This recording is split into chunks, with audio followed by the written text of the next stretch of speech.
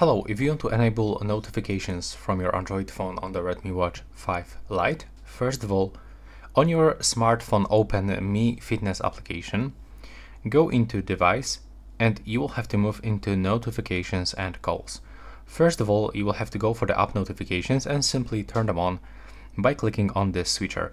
And right now I can highly recommend you to enable this function to receive only when the phone is locked. I mean, unselect this one to receive only when the phone is locked and also uh, to enable this function to wake the screen. So every time you are gonna receive notification, your screen on the smart, on the Redmi Watch 5 Lite will be turned on, so you will not miss any notifications. And then you can simply turn off this one, notify only when worn.